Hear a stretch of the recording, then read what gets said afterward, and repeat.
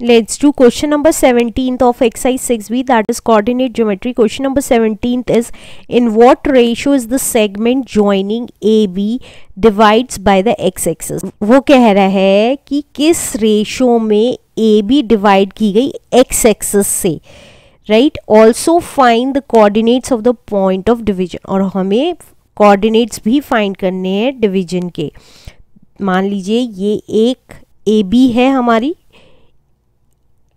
ए और बी इसे एक लाइन ने एक्स एक्सेस ने हमारा डिवाइड किया. एक्स एक्सेस से डिवाइड हुआ है तो ऑब्वियसली एक्स एक पॉइंट होगा और वाई ज़ीरो होगा. क्यों? देखिए, अगर हमारा ये ग्राफ होता है और एक्स एक्सेस किसी को डिवाइड करती है तो एक्स एक्सेस कब डिवाइड करेगी? जब ये ऐसे कोई ए बी है और एक्स एक्सेस डिवाइड कर रही है तो यहाँ पे जो पॉइंट होगा, वो क्या होगा?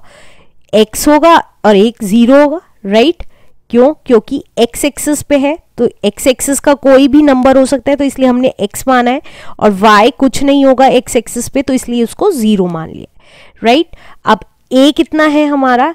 Two and minus three two and minus three और बी है हमारा five and six five and six अब ये कह रहा है क्वेश्चन में कि हमें एक तो रेशो बतानी है और इसका x की कोऑर्डिनेट का x कोऑर्डिनेट बताना है कि x कितना है। तो कैसे निकालेंगे? हमें रेशो नहीं पता तो हम इसको लेट कर लेते हैं। Let the ratio be ratio be M is to N है रेशो अब एम एस टू एन है और यहाँ एक्स वेरिएबल है।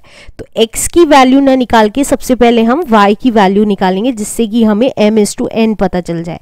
और उसके बाद हम एक्स की वैल्यू निकालेंगे। तो वाई क्या आएगा हमारा? वाई का फॉर्मूला होता था हमारा M Y two plus N Y one upon M plus N अब ये हमें पता है x है, ये हमें पता है y है, ये हमें पता है x1 है, ये x y1 है, ये x2 है और ये y2 है।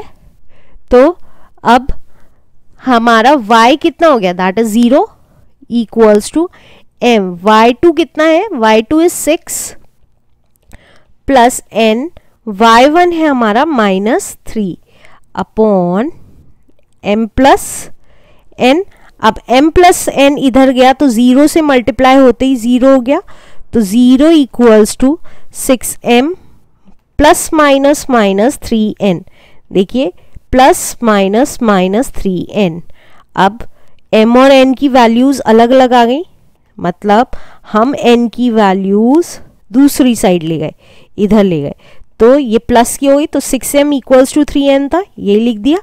अब एम अपॉन एन मतलब ये एन में नीचे ले आई एम के। तो ये सिक्स भी नीचे ले आऊँगी थ्री के three upon six three upon six को क्या लिख सकते हैं? वन अपॉन टू तो एम अपॉन एन कितना आ गया? That is one upon two तो रेशो कितनी आ गई? Ratio is one is to two one is to two आ गई रेशो अब हमें क्या निकालना था? इस x की वैल्यू निकालनी थी। तो फॉर्मूला लगाएँगे x का। x का फॉर्मूला होता था m X two plus N X one upon M plus N तो x तो x ही रहेगा। देखिए, यहाँ पे अगर आप देखेंगे, x तो x ही है। x2 है हमारा फाइव और x1 है टू तो m है हमारा वन एक्स टू है फाइव प्लस एन है हमारा टू और एक्स वन है हमारा two